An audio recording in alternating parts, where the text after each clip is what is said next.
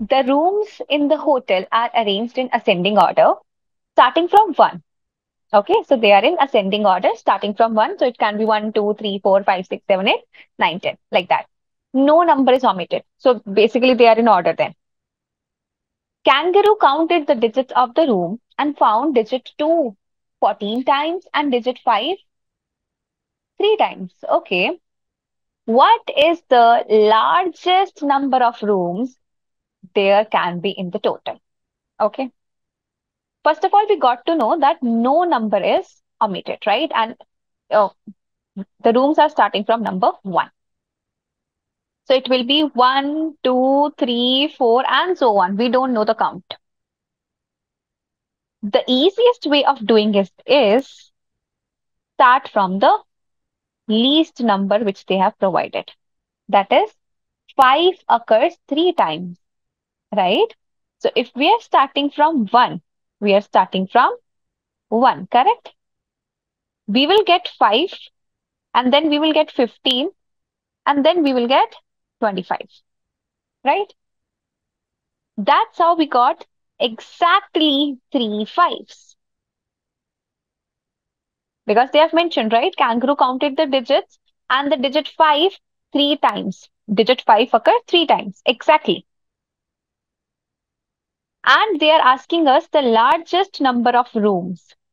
So we cannot go to 35 because if we will go to 35, then 5 digit will occur 4 times, correct? But can we say that there are 34 rooms? Right? We cannot go to 35 because if we will go to 35, there will be four fives which will occur. But we can say that there are 34 rooms.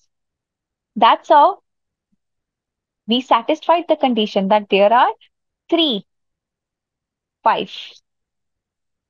Correct.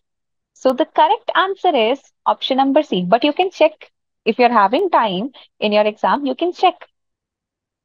How we can check? 2 is uh, basically 14 times, correct? Kangaroo counted the digits in the room and found number 2 14 times. So we can see that. 2, right? Then we can have 12. Then we can have 20, 21, 22, 23, 24, 25, 26, 27, 28, 29, and then what we can have? 32. Correct. So what I did, I wrote the numbers, the room numbers, all from 1 to 34, which have 2 in it, which have digit 2 in it. Now let's count whether we are having 14 or not. 1, 2, 3, 4, 5, 6, 7, 8, 9, 10, 11, 12, 13, 14. We are correct. Okay. So what we can do, we can start from the least count which they have provided us, the easiest thing which they have provided us. Okay. I hope it makes sense. So here we are done with our three marker problems that came into Math Kangaroo 2024 exam.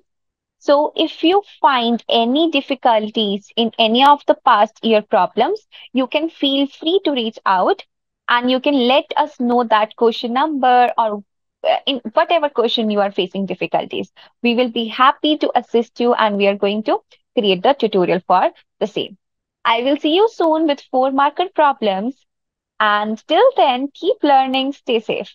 Thank you so much.